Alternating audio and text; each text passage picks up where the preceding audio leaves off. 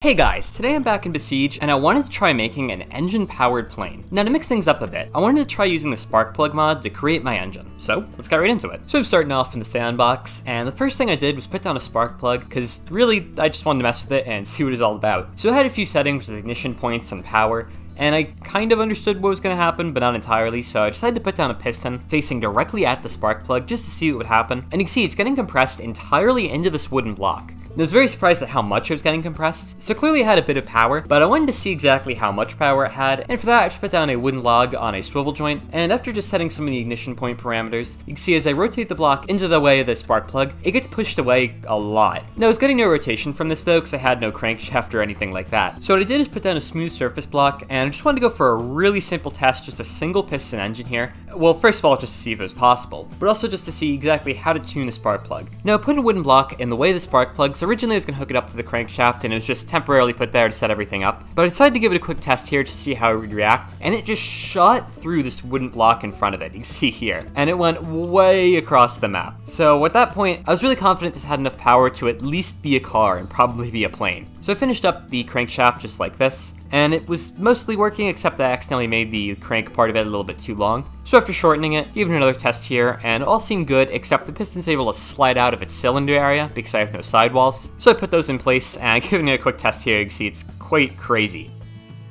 So I just shrunk the walls of the crankshaft a little bit to hopefully make it rotate a bit better, and the piston ended up flying straight out of there. So I lowered the power from the spark plug from 1000 to 100, I have no idea what those units are, and you can see here it's much more tame. So after tuning the ignition points and the power for just a little bit, I ended up getting this sort of rotation. It wasn't continuous, but it was pretty good. So I added in another piston. I was gonna start working on a simple dual piston setup here. It's actually exactly what I had in my last video when I was doing simple testing with the steam cannons. And actually here I have the exact same problem I had where I needed two swivel joints in the center one for each piston, but ends up binding up a little bit, so I increased the size of the wooden blocks to give them a better fit in the engine, and it seemed to rotate okay. It was a little rough though. So to hopefully fix it a bit more, what I did is replace the wooden blocks with ballasts. I was thinking they may slide a bit better. And I also replaced the smooth surface blocks with half pipes. Now, smooth surface blocks are apparently not actually smooth, they just look smooth, but half pipes are actually low friction, so it should allow the pistons to easily slide on them. So after I got those half pipes and ballasts put in place, I accidentally didn't hook it up to the crankshaft quite right, and you can see here it gets kind of slid from side to side. It's not doing anything productive, but I thought it was kind of funny, so I left it in the video. And then here I actually hooked it up to the crankshaft like I was supposed to, and it's actually rotating pretty fast. I was surprised by this, the amount of power it had just for two pistons. But the crankshaft was still swinging back and forth quite a bit, so to fix that problem, I added another swivel joint on top of the crankshaft and pinned it in place.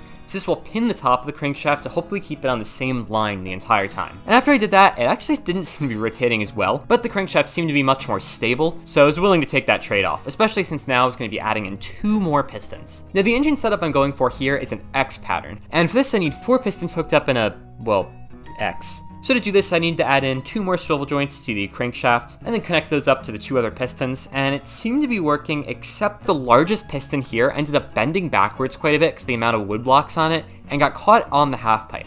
So I used a few more bracing pieces to fix that, and the engine seemed to be rotating fine. But just as a preventative measure, I braced the other pistons as well to make them a bit stronger, and once I did that, it also seemed to be rotating fine. So I started working on turning this into a car. Now, that's not exactly what the end goal was, but if it could power a car, I figured it was definitely be able to power a plane, and it's actually pretty easy to convert it into a car, so I figured I'd do that. Now starting with these small wheels here, the engine's swinging back and forth a lot to the point where I thought it might tip over, so I put the wheels further out to hopefully stop it from wobbling as bad, but here you can see it's actually wobbling so badly the wheels end up coming off the ground sometimes.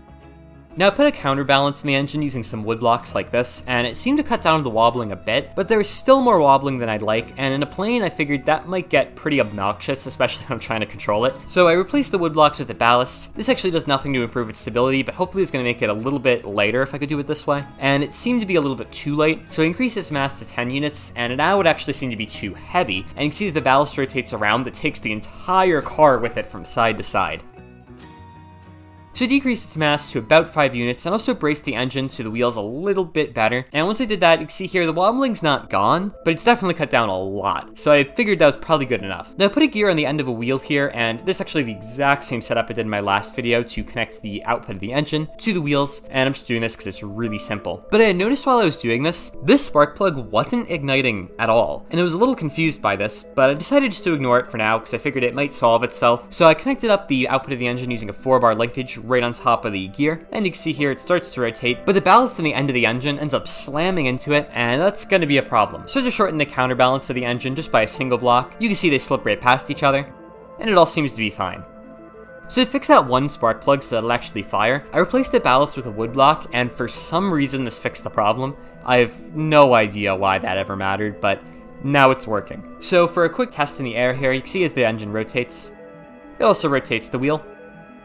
So I deleted the pin that was holding it up and gave it a test on the ground. So I have to manually crank the engine to start it, that's fine though. And once I do that, the engine starts rotating, and it's definitely much slower under load, but it's still decently fast, especially forwards here. I'm actually getting quite a bit of power. So again, a car was definitely not the final goal. The final goal of this is to make a plane. So I deleted all of the stuff I put on this to turn it into a car, and then just for fun, I put down four propellers like this, and just wanted to see how well it would perform. So, kind of like I expected, it didn't come off the ground, and I think it's just because the engine is way too heavy. So to start solving this problem, I deleted a lot of the wood pieces. I think I deleted almost almost all of them to be honest, and replaced them with ballasts and braces. Now ballasts are great because you can set their weight, so I could just set them to be extremely light, and then use braces to hold them together, which are also pretty light, and overall I could probably honestly cut the weight of the engine down by probably like 70 or 80% just by doing this. Of became a fun game of exactly how much weight I could remove before it just wouldn't work. And in fact, here I actually put in some ballasts underneath the spark plugs, but I realized I didn't need them at all since the spark plugs you could directly brace to. So after deleting those, I just put in a bunch of braces to hold it all together. And I also wanted to use as few braces as possible, but also enough that it wasn't going to be entirely unstable. And once I got that, I gave it a quick test here, and it was you know, wobbling a lot, but it seemed to be kind of holding together. So I removed even more wood pieces from the pistons themselves. And after removing all of those, I only had just a few left, and all of them were pretty much necessary, or there's really no point removing them. So I took the engine, I rotated it 90 degrees up, rotated it 45 degrees, and got my X shape that looks nice, and started working on the plane. Now for this I needed to put in a couple wheels, so I put some wheels in like this, but you can see it's actually still front heavy and tips over, so I did move the wheels further forwards. After making sure just to brace them to the front of the plane and the back of the plane, I put in some back wheels as well. I didn't really want to show that though, since it's exactly the same process. But here, if I give it a quick run, you see it actually moves forwards pretty quickly. I mean, it wasn't that fast, but it was much faster than I was expecting. So to hopefully increase the speed of the propeller, what I was going to do is add in a gear ratio and hopefully get a larger speed on the output. Now I connected up my small gear incorrectly here and you can see it's just rotating with the large gear. So after making sure to brace it to the spark plugs instead of to the piece that's rotating, if I slow down time here, you can see the small gear ends up rotating faster than the big gear. So I made sure to put my propeller on that, and I just went for a simple two-blade design like this. I wanted to see if it'd work any better, and it seemed to rotate actually about as fast as the other one did. But I figured it was an unfair test since I only gave it half the propellers, so I put four on, and it seemed to not want to move at all, actually. Now, I figured I must have done something wrong here, and in fact, when I checked it out, one of the blades I had mirrored, and once I fixed that and it started up the engine, you can see here it's rotating maybe a little bit faster than it was before, but I was kind of surprised because the engine seemed to be moving slower as if it was getting loaded down by the propeller. But the engine I knew had a lot of power, so it just didn't seem to add up quite right, and gears in Besiege are always weird, so I figured the problem was most likely just that you can't really have gear ratios like that, and not that it was actually loading down the engine. I tried a few other propeller designs, one of them was this triple blade design, and it didn't seem to move me faster at all. In fact, I may have been even moving slower. So I instead went for a larger propeller like this, and I deleted the other two propellers on the outside, and I was moving a lot faster than I was before. So this was at least a good start. And because that worked so well, I decided to increase the propellers once again, I made them 50% bigger.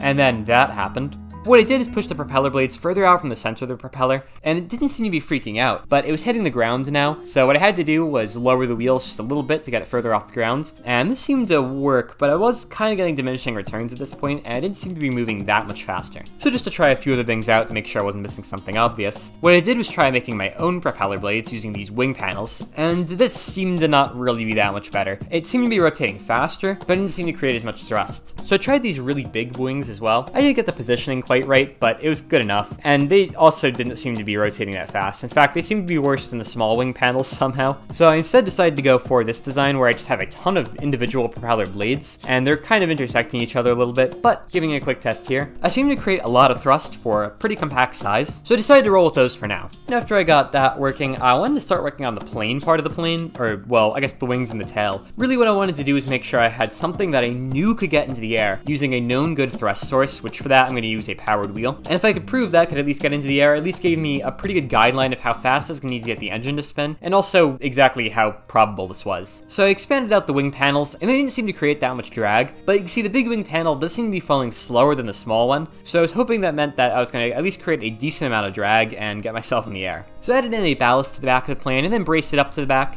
and I'll use this to create my tail. And now giving it a quick test here, the propeller can spin up using the engine. Not that fast, because it's kind of moving around a lot since I'm dragging it. And I put it in the air and just wanted to see how well it glided. And the answer to that was poorly. It just seemed to fall straight down. I was getting very suspicious that the wings were doing literally nothing, but I decided to press on, and what I did was replace the output of the engine with a power wheel like I said I was going to. Again, just temporarily, so I can create a known good thrust source and hopefully get this in the air. I also added in a tail using these small wing pieces, and it kind of seemed to work out fine. So what I did is added in a wheel to the back of the plane, and this is going to act as a counter rotation to the front propeller. So as that spins, it creates a lot of torque on the body of the plane. So if I have this other wheel in the back, that creates an opposite torque, it ends up canceling out and hopefully doesn't rotate at all. Now I was going to mess with that a lot more later. For now it's in there so that I can account for its mass since I knew I was at least going to have to add that in the future. And after I got everything pretty good, I ended up adding some wheels to the end of the spark plugs, and then rotated them, and tried to get it in the air. Now the propeller was spinning way too slow right now, so I barely got any speed on the ground. So I turned its speed up to 5 times, and once I did that,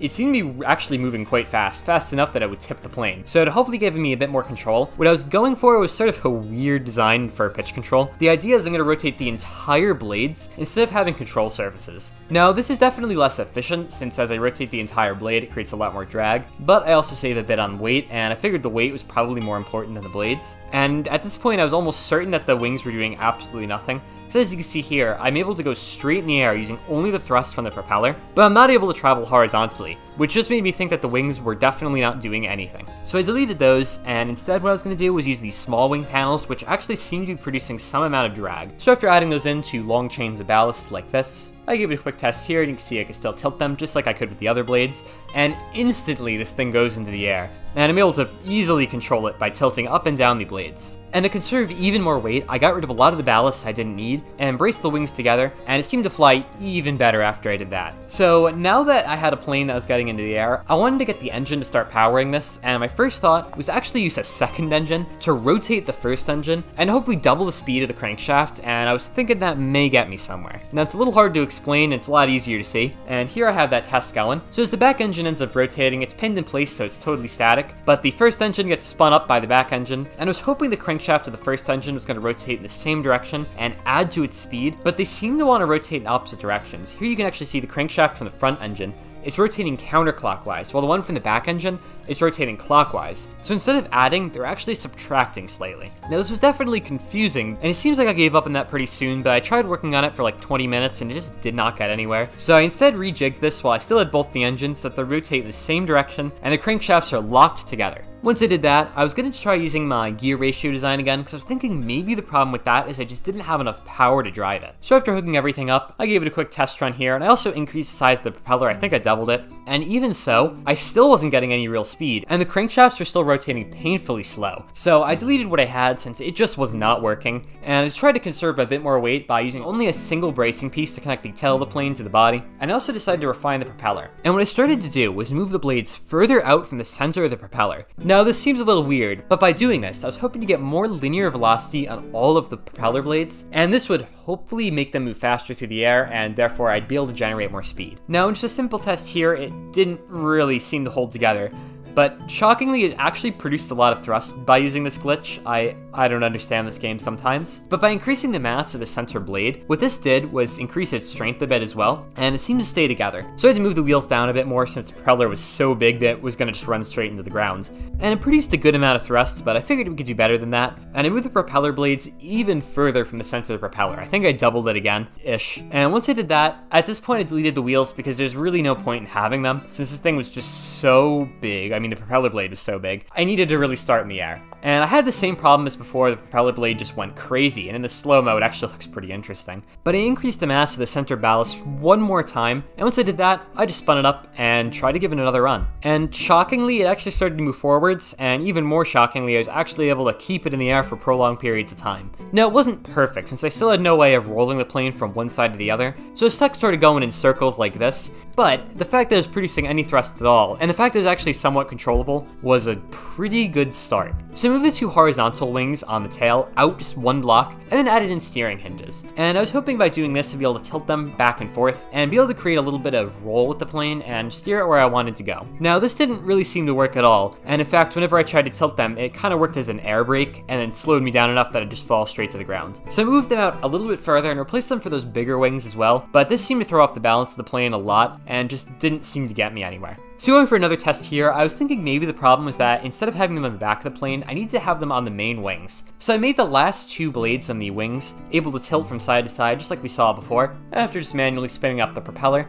It kind of seemed to work, but it definitely was having a very small effect, and in fact on video here, it's not even like noticeable at all. It just seemed like it may have been happening while I was flying. But finally, I moved out the entire wings and instead put those steering hinges further into the plane so that they're right on top of the steering hinges that control the pitch of the plane as well. And this seemed to totally work, but the wings now were able to fold in and kind of create a U. So I used a couple swivel joints like this and then braced them to the body of the engine. And once I did that, it seemed to secure the wings a lot better, and I was able to roll the plane wherever I wanted. You can see here I'm able to stop myself from going to the left, and I straighten myself out. Now I put in a camera to the back of the plane as well, and this gives me a good chase cam. It makes it a lot easier to fly this since I don't have to constantly move my mouse around so I'd be able to stay at the back of it. And I put in a motor wheel to the front of the plane, and what this does is when it spins up, it rotates the propeller in the opposite direction, and that's what starts it up. Because normally I'd have to crank it over using the drag tool, but instead I can just use the motor wheel to start it up, and it's a lot easier. There you just saw a test of me starting at ground level, and going up quite a distance, and this proves that I'm actually producing thrust with this and I'm not just gliding where I want to. And here I have a nice montage, few shots I got.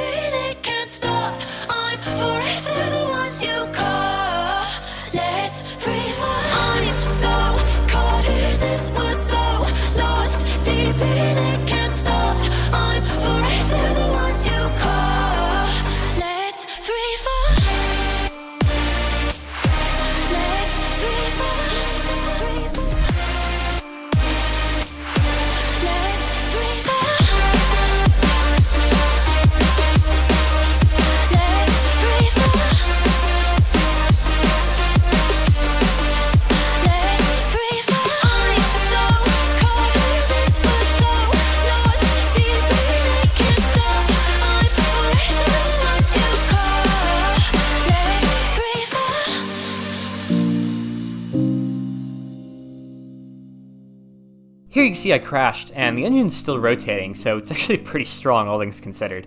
And here I normally don't record the audio, but I thought the sound of the engine was important to capture, so I just got a shot here of it.